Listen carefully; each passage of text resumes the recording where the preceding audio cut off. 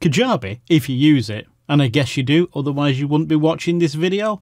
Kajabi, depending on which plan you've got, it limits the number of products that you can have listed. Well, we can actually get around this by creating a password protected page in Kajabi. And I'm going to show you how. Now, here's the thing, and this is what I've found. For your main course, you really don't mind that taking up a slot. That's fine. But quite often you've got what I call, I call them pop-up offers. Low price products that you're say you're using to attract people, maybe a $47 ebook, PDF, or a couple of videos you did that would be great as a mini offer. A way to attract people with something at, shall we say, a non considered price point, where you can upsell them later. Great way to build a list. Well, you can sell these types of offers without having to use one of your valuable product slots. There is a way to create a paywall and protect your page with a password within Kajabi. And you know what? It's actually really easy to do. So let's jump over to Kajabi and I'll show you how. So I'm in my Kajabi test account. Now, first thing that we need to do is to create our page where people, our customers, can access their download, their video, access whatever your offer is. Now, over here on the left, under website, we've got pages. I'll open that. Now, there are a couple of things we have to keep in mind to do this. First thing is, you have to create a page under the website section. That's important. This won't work if you create it under landing or under funnels. It's got to be under the website section. Now, this doesn't alter anything really from your customer's perspective, makes no difference at all. So, we'll create our page, and this is the page that's going to host the video, the download, or whatever your offer is. So, I'll select New Website Page, give it a name, hit Customize Page, and of course, you'd add all your own stuff in here, you, any graphics or buttons they can download or view the content or whatever. And rather than have you start watching me add elements, I'm going to use the magic of editing. There you go. I've added some basic elements. I've added an image, a little bit of text, and some buttons that link to the download. So now I just want to jump back to the main pages section. So here at the top, we've our page, the page that holds the content that they've paid for.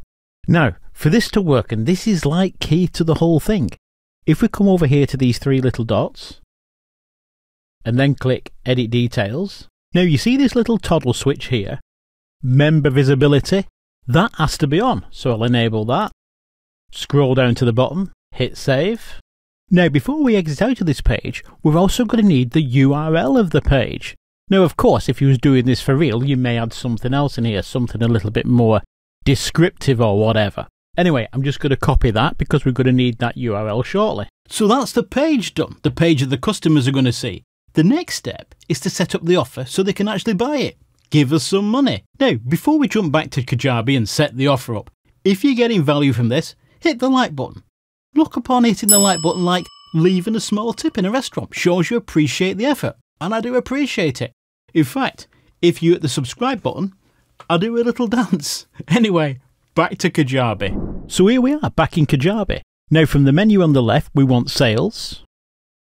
Then we want offers. And then what I want to do, I want to create a new offer. So I'll just come over here to the top and click new offer. I'll give it a name. For payment type, I'm going to select one-time payment and the price, I think we'll put $50. And then click create. There we go. Now, can you see here it said add products to this offer? Well, we're not going to add anything because this is what's known as a ghost offer. But what we do need to do under post purchase down here, we need to alter where we send members once they've made a purchase. Currently, what it'd do, it'd send them to the members library, but that'd be no good. It would be confusing since the product's not going to be in the library because it's a ghost offer. We need to send them to a custom thank you page so they can download or consume what they've bought. So from this drop down list here, I'm going to select custom thank you page. And for the purpose of this demo, I'm just going to paste in some text. Now to make this link clickable, so when it appears on the page, all they've got to do is just click the link and it'll take them to the page where they can consume the content or download the offer or whatever it is. I'm just going to highlight that, copy it, and click this little icon here and then in the URL, I'm just going to paste that in and then click OK. There we go. That will now be a clickable link on the custom thank you page. Now, once we've done that, we need to scroll down the page a little bit and we also need to deal with the post purchase email. So I'm going to select custom email I'm going to paste in the same message. And what I'm also going to do, because I want to welcome them by name, up here under email subject, I'm going to type in welcome. And then in these special brackets, I'm going to put member.name. So that's going to address them by the name. So if the name is John, it'll say welcome John. If the name's Mary, it'll say welcome Mary. It'll say welcome whatever their name is. Now, just a little something before we actually save this page and move on. You see this here. In some email clients, that wouldn't appear as a clickable link. It would just appear as text. And then what they'd have to do, they'd have to copy it, paste it in the browser, and it just makes it a little bit harder for them. So what I'm going to do is I'm going to, I'm going to turn this into a clickable link in email. So I'm just going to add a little bit of HTML.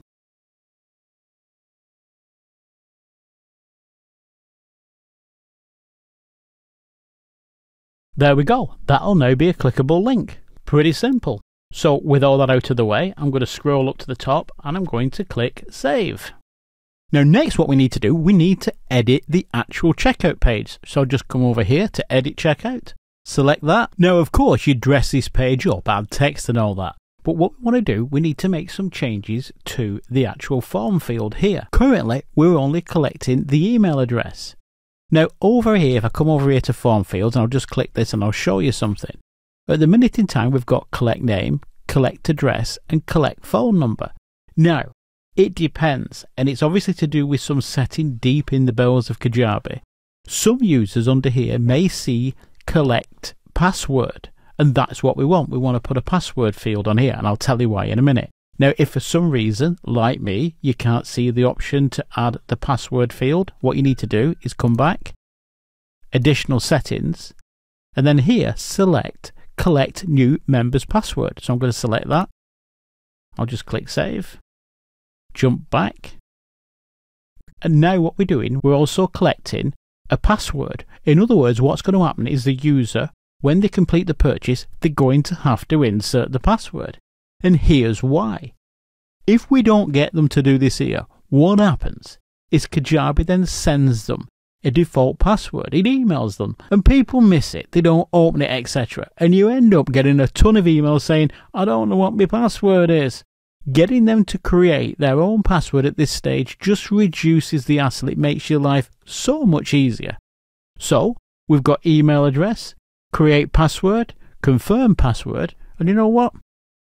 For good measure, I'm also going to add collect name. So I'll select that, hit save. Now we're collecting the email address, the full name, and we're getting them to create a password. And of course, down here is the options to decide how they want to pay for it card or PayPal or whatever your payment settings are. And that's it.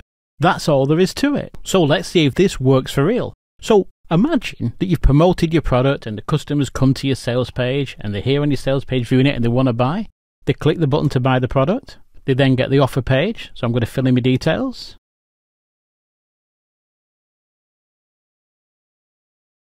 Create a password.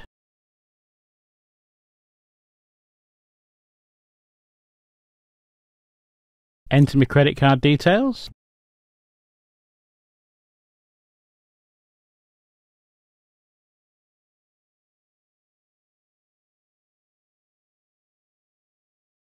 Click complete my purchase. And there we go, they now get the custom thank you page. So if I click on that link, there we go. They can now access the offer. They can now download it. Now you might be wondering why it just let them in this page without asking for any login information, and that's because Kajabi remembered that they've just filled the information in. And just to prove that, if I come up here and I just copy that, that URL, and I come down and open up a new browser, and I try to access it by pasting that in where I'm not logged in on Safari, it now asks me to sign in. So effectively, what I've done, I've created a password protected page in Kajabi if you like, a paywall that I can use to sell mini offers or any type of content where I don't want to take up one of my product slots. How good's that? So, to recap, let's just run through what's going to happen here. Customer buys your product using your Ghost offer. They then get an email that contains a link to the page on your website. But the only way that they can access that page is if they have paid and if they've created an account with a password. So effectively, you've created a password protected page that can only be accessed when they've paid. And it's not taken up any of your product slots. I hope this helps. Until next time, bye for now.